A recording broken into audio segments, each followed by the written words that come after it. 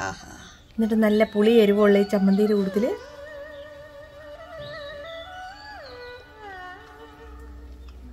അടിപൊളി കേട്ടോ രാവിലെ എന്നതാ മറ്റേ ചിരട്ടയും പിടിച്ചിരിക്കുന്നതല്ലേ?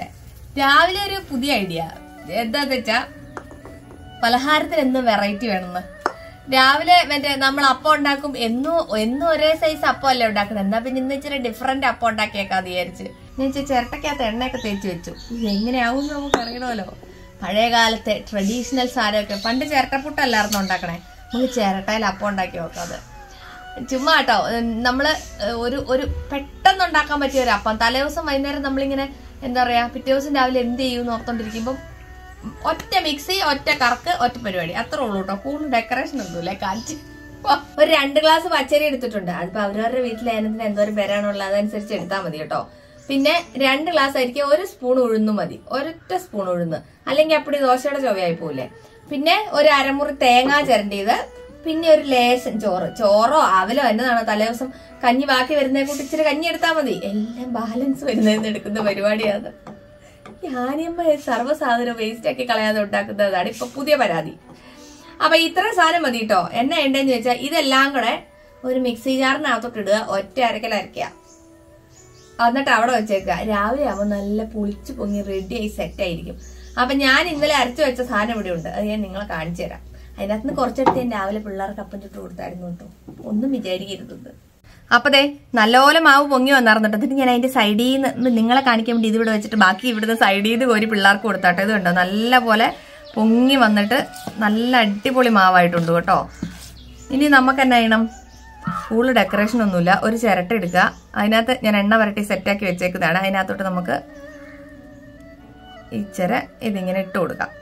മറ്റേ സോഡാപ്പൊടി ഇല്ലേ നമ്മുടെ ബേക്കിംഗ് സോഡ അത് കുറച്ച് ഇട്ടിട്ടുണ്ടെങ്കിൽ ഇതിങ്ങനെ ഇങ്ങ് വരും കേട്ടോ വീർത്ത്. അതിന്റെ ആവശ്യം നമുക്കില്ല.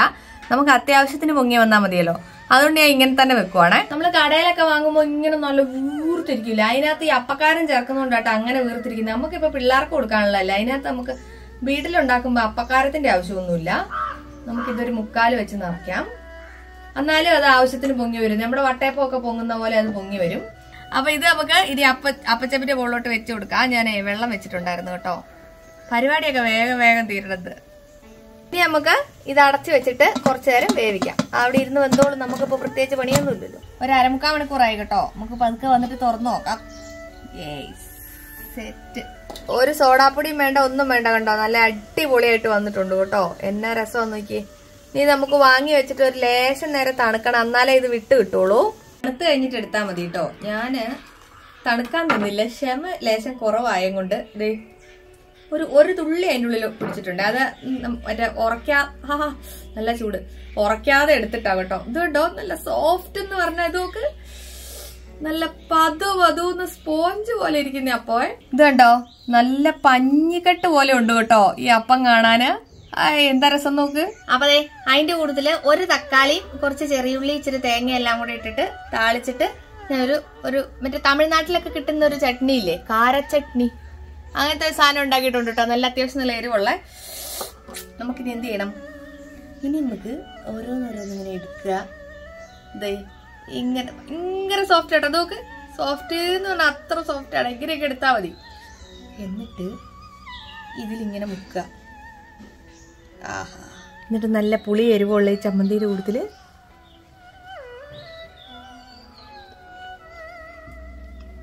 അടിപൊളി കേട്ടോ എന്തായാലും ബ്രേക്ക്ഫാസ്റ്റ് ആയിട്ട് ഉണ്ടാക്കി നോക്കിയാ നല്ല സോഫ്റ്റാ എല്ലാരും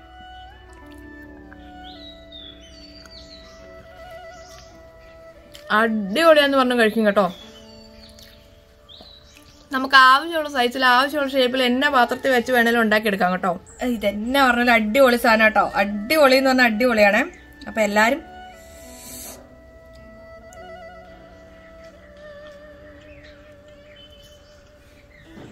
ഉണ്ടാക്കിക്ക ഒരു പ്രാവശ്യം ഉണ്ടാക്കി എന്തായാലും ആരും ഒരു കുറ്റം പറയല്ലോ അത്രയും രസമുണ്ട്. നല്ല രസമുണ്ട്.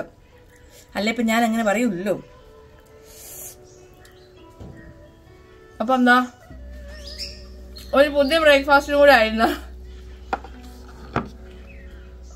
ഇതാകുമ്പോ ഭയങ്കര എളുപ്പമാണ് രാത്രിക്ക് ഒറ്റ കറക്ക് കറക്കി വെച്ചാൽ രാവിലെ ആളാം വീതം ഓരോന്നും ഉണ്ടാക്കിയാൽ മതി. മൂന്നാൽ ചിരട്ടയുടെ ചിലവേ ഉള്ളെന്ന്. അപ്പൊ അടുത്ത വീഡിയോ കാണാം. അതുവരെ ബൈ